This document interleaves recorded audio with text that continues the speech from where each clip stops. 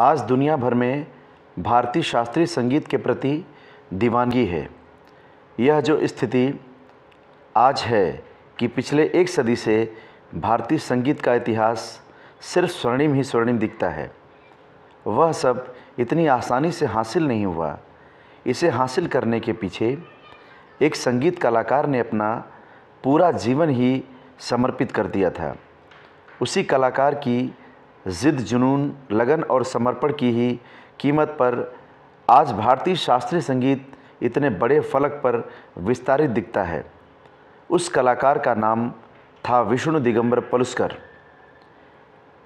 पंडित विष्णु दिगंबर पलुस्कर भारतीय समाज में संगीत और संगीतकार की उच्च प्रतिष्ठा के पुनरुद्धारक, समर्थ संगीत गुरु, अप्रतिम कंठ स्वर एवं गायन कौशल के धनी, भक्त हृदय गायक थे। आज हम इन्हीं महान शख्सियत के जीवन परिचय के बारे में बात करेंगे। सर्वप्रथम संक्षिप्त परिचय। जन्म 18 अगस्त अठारह सौ बहत्तर ईस्वी। जन्म स्थान बेलगांव, कुरुंदवाड़। पिता का नाम दिगंबर गोपाल, माता का नाम गंगा देवी।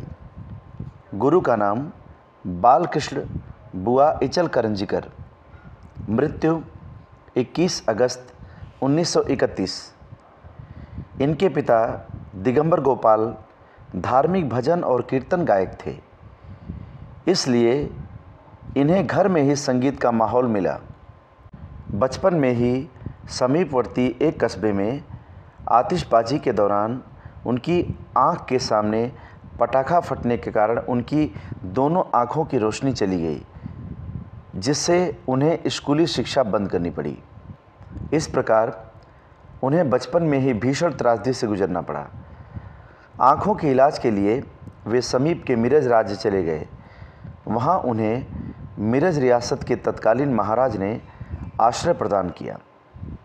पलुस्कर जी ने मिरज में ही ग्वालियर घराने में शिक्षित पंडित बालकृष्ण बुआ इचल करंजीकर से 12 वर्ष तक संगीत की शिक्षा ग्रहण की।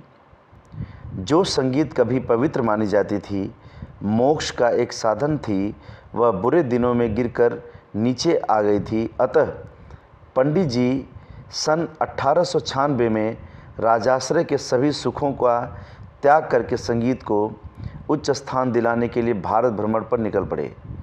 सर्वप्रथम वे सतारा गए। वहाँ उनका भव्य स्वागत हुआ। और उनका गायन कार्यक्रम बहुत सफल रहा। पंडित जी के प्रयासों से वहाँ के लोगों में संगीत व संगीतज्ञों के प्रति श्रद्धा उत्पन्न हुई। इसके बाद बड़ौदा, ग्वालियर, दिल्ली, लाहौर और इलाहाबाद आदि अनेक स्थल पर जाकर अपने गायन से श्रोताओं को प्रभावित किया और संगीत की प्रतिष्ठा बढ़ाई। उन्होंने लाहौर को सर्वप्रथम अपना कार्यक्षेत्र चुना। पलुस्कर संभवतः ऐसे पहले शास्त्रीय गायक हैं, जिन्होंने संगीत के सार्वजनिक कार्यक्रम आयोजित कर धनार्जन भी किया। उन्होंने अपने मथुरा आगमन के पश्चात वहाँ बंदिशें समझने के लिए ब्रज भाषा सीखी तथा ध्रुपद शैली को भी अपनाया। मथुरा के बाद पंजाब, फिर लाहौर पहुँचे और 5 मई 1901 में गंधर्व महाविद्यालय की स्थापना कर कई विभूतियों को तैयार किया। बाद में उन्होंने मुंबई में भी 1908 में गंधर्व महाविद्यालय की दूसरी शाखा को स्थापित किया। उन्हें आर्थिक कारणों से इसे बंद भी करना पड़ा। इनके शिष्यों में पंडित ओमकार नाथ ठाकुर, पंडित विनायक राव पटवर्धन, पंडित नारायण राव और उनके पुत्र डी वी पलुस्कर जैसे दिग्गज गायक थे।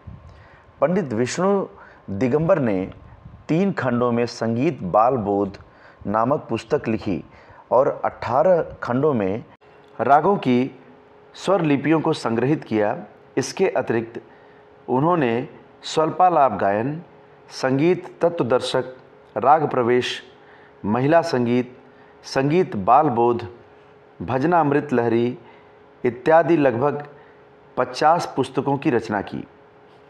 विष्णु दिगंबर पलुस्कर, जिसकी बदौलत भारत का शास्त्रीय संगीत दुनिया भर में मान पा सका।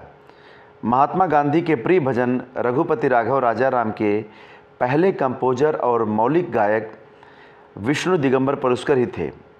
इन्होंने स्वरलिपि की रचना की, जिसका नाम विष्णु दिगंबर स्वरलिपि पद्धति है।